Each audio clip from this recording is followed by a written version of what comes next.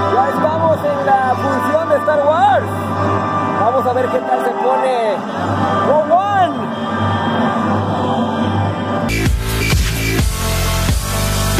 A ver esa espada. Eso es todo. ¿Qué esperas de esta película, mi estimado Robert? No, pues muy buena acción. Muy buena acción y esperemos que cumpla con las expectativas. Este, persecuciones a alta velocidad, eh, eh, enfrentamientos con espadas láser y, este, y muchas naves espaciales. No, tiene que ser Star Wars y tiene que ser naves espaciales. Y cruceros, ¿A sí, sí. Sí, y cruceros, es lo que yo quiero. Traiciones, traiciones. Yo quiero ver una buena trama. Va a ser muy buena la película, la neta. Ah, eso, eso es todo.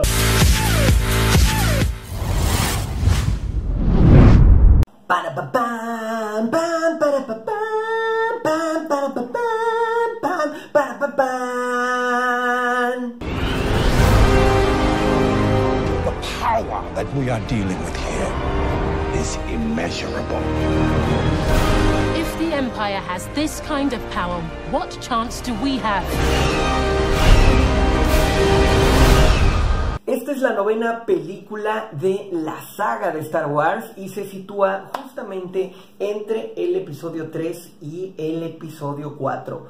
Cabe mencionar que no entra dentro de los episodios, es un spin-off en el cual nos van a explicar justamente qué es lo que sucedió para que eh, la Alianza Rebelde consiguiera los planos de la estrella de la muerte. Una chica llamada Jean Herzog, interpretada por Felicity Jones, que es esta mujer preciosa que vemos aquí, y la cual ya hemos visto en películas como eh, La teoría del todo con Eddie Redmayne y también la película de Inferno con Tom Hanks. Bueno, pues ahora protagoniza a esta chica rebelde, la cual su padre es el que, bueno, es un ingeniero que construyó este gran artefacto, pero le dejó una vulnerabilidad que ya todos conocemos a este, esta bola gigante que destruye mundos. Y es que cuando pues entra un rayo justamente donde está el catalizador de energía, ¡pum! Se acaba todo el rollo con la estrella. Eso obviamente ellos todavía no lo saben, lo tienen que descubrir. No les estoy spoileando nada porque ya todo el mundo seguramente ya vio episodio 4, 5 y 6 de los años 70. Y bueno, pues está acompañada de unos ordinarios rebeldes, entrecomilladamente, que son el comandante Cassian, que es Diego Luna, el cual ya también vimos en la película últimamente con Mel Gibson de Sangre por Sangre, lo vimos ahí con los charolastras en Y tu mamá también, y bueno, pues lo recordamos eh, como uno de los actores mexicanos más reconocidos. Está Matt Mikkelsen también como el padre de Jim Herzog, el cual últimamente está haciendo un videojuego también que se llama Death Stranding con Guillermo del Toro y con Hideo Kojima. Y lo vimos en la última película de Doctor Strange también. Es un muy, pero muy buen actor que normalmente lo vemos de malo. ¿Se acuerdan ustedes cuando le pegan las balls? Uh, a James Bond.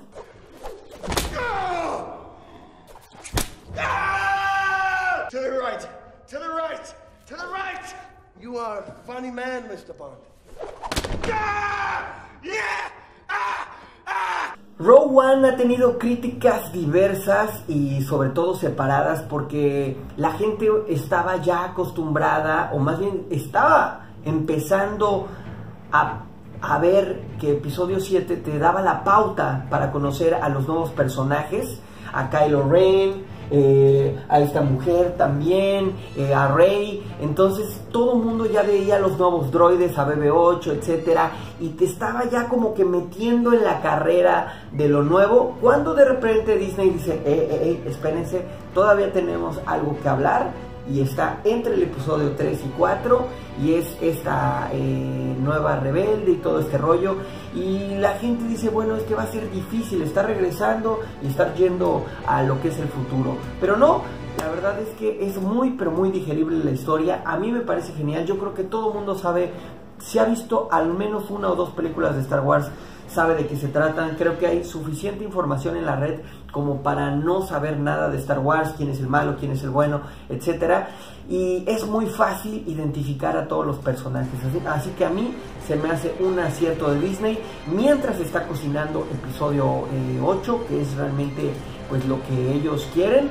Eh, darte este tentempié viene muy pero muy bien. Lo mejor de esta película se encuentra en el corazón de las batallas. Aquí desafortunadamente no vamos a ver muchos Jedi, eh, tal vez nada más a un chino llamado Cheer, me parece, el cual eh, pues tiene la fuerza, pero digamos que no la demuestra al máximo.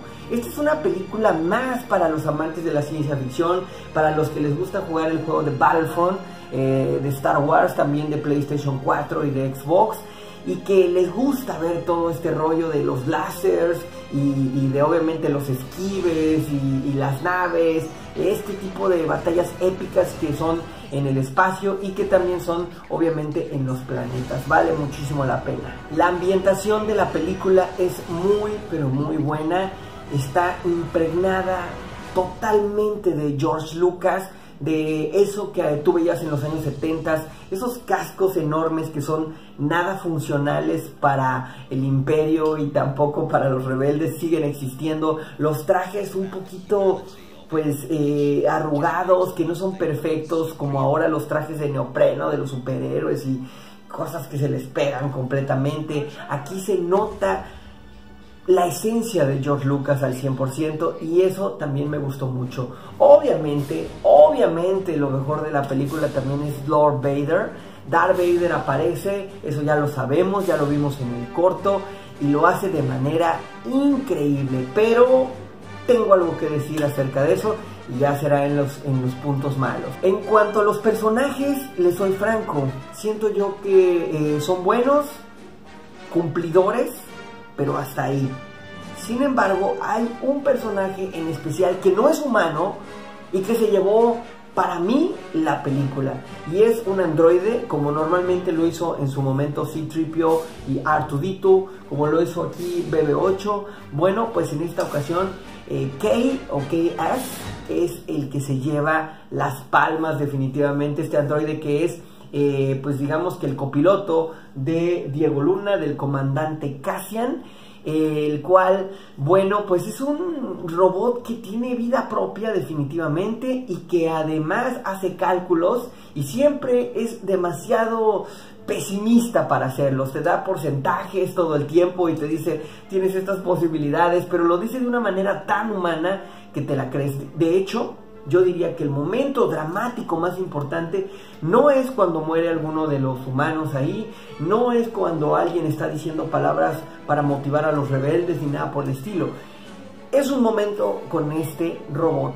Desafortunadamente no todo puede ser color de rosa. Así es que eh, hay una de las peores cosas que pudo haber pasado en una película de Disney tan esperada. A lo mejor no es el episodio 8, pero creo que debieron haber invertido mucho, mucho más ahí. Creo que el juego nuevo de Kojima de Dead Stranding se ve mejor que lo que vi, un CGI de un personaje eh, que no es que, no es un extraterrestre, que es un humano y que, y que lo hicieron en CGI, no les voy a decir quién es, pero no les quedó nada bien. Lo quisieron revivir quisieron hacer algo con él. Hubo demasiadas tomas con ese personaje y se ve ficticio, se ve eh, acartonado y la verdad es que no, no creí, ¿no? Algo de lo peor, creo que esto es lo peor de la película, eh, este personaje con el CGI. Momentos inverosímiles. Definitivamente hay muchos en esta película, pero creo que ya estamos acostumbrados en Star Wars. Siempre sucede, no sé, por la fuerza, por la esperanza, porque tengo fe o lo que sea, pero hay lugares o cosas que tú dices, no puede ser que esto sea así tan fácil, ¿no? Cómo rescatan a un rebelde, eh, cómo entran a lugares que parecen insospechados, ahí que dices, no puede pasar absolutamente nadie, y no hay ningún Stormtrooper ahí para detenerlos, ni siquiera alguien ahí, un godín, un corporativo, no sé, alguien que esté en ese lugar y no hay nadie, ¿no? De repente los pasillos se ven solitarios y dices, no, no lo creo, ¿no? Pero bueno, es parte de la esencia de Star Wars.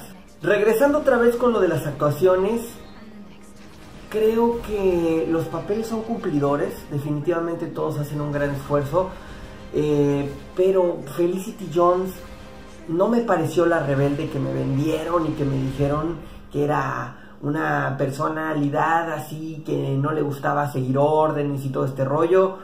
Es, es un personaje, es una actriz muy dulce para este personaje y aún así es muy profesional y cumplió, pero no me convenció al 100. Por ejemplo, Rey aquí sí me convenció al 100%, es una niña muy intempestiva que se la pasa como, como que tiene un delirio ahí muy especial, eh, es muy hiperactiva la mujer y, y Jean Herzog Felicity Jones es muy tranquila, es una niña la cual la vimos en la teoría del todo, como esposa, en Inferno, como la acompañante de Tom Hanks, pero estos papeles creo le quedaron un poquito mejor que este, aún así, aún así pasó la prueba.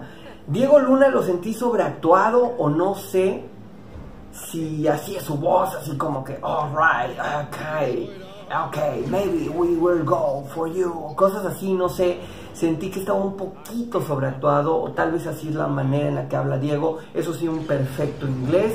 Y bueno, pues como les decía, lo que más me convenció fue un robot, así es. Increíblemente. Dentro de las curiosidades, se fijaron que de nuevo tenemos una protagonista mujer.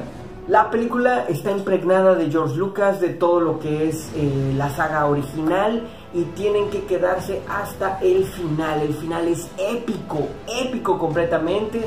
Si les gustó el final de episodio 7, el final de Rogue One definitivamente los va a dejar con ganas de más y con ganas de llegar a su casa y ver rápidamente el episodio 4, que fue la primera película que existió de Star Wars.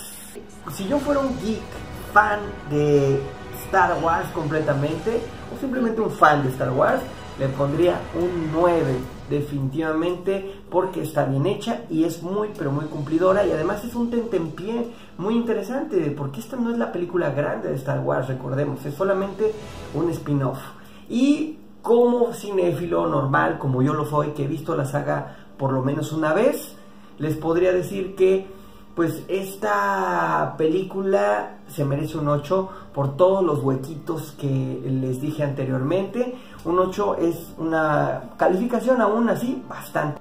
Definitivamente la vería de nuevo y también la compraría, pero tal vez en un formato digital, así como tipo Netflix o algo así por el estilo, ¿no? Pero bueno, para los fans de Hueso Colorado tienen que tener obviamente la super edición especial en Blu-ray y lo que sea para poder completar la saga de Star Wars. Hay algo bien padre, le pregunté a varias personas que fueron a ver la película cuál era mejor, si el episodio 7 o Rogue One. Película, primeras impresiones, mi estimado. Bien, la verdad es que sí se va desarrollando la trama un poquito lenta, pero cierra con todo el power. Cierra muy chido. Me gustó, sí, sí le pongo un 9. 9. Tomando en cuenta que es de Disney y así es como para todo público. bien, bien, bien, bien. Me reservo por el momento mi opinión acerca de, la película, ya verán en review, pero quiero saber, quiero saber la opinión, quiero saber la opinión de un Jedi. Excelente, ¿no? Comienza pio flojo, pero qué final, ¿eh? Ajá. Excelente el final. No, muy buena. ¿Cuál le pongo nueve? ¿Sí le pones nueve? Sí. Mucho. ¿Qué fue lo que más te gustó? Ah, Lord Vader. Chiste, spoiler. Sale, Lord Vader. No, la intensa. Intensa. ¿La sabes qué? La mejor de mucho tiempo. Star Wars. Ya. ¿Te gustó más que la 7? ¿Sí? ¿En serio? Sí, completamente. ¡Wow! Y fíjense que fue extraño, fue muy interesante ver las respuestas porque los fans de Hueso Colorado de Star Wars dicen que esta película es mucho mejor que episodio 7, que mezcla el pasado con el presente. A mí en lo personal me gustó mucho más episodio 7 que Rogue One. Sin embargo, pues en gustos se rompen géneros y aquí es donde a mí me gustaría que me ayudaran en los comentarios y me dijeran cuál les gustó más, Rogue One o episodio 7. ¿Cuál fue su película favorita?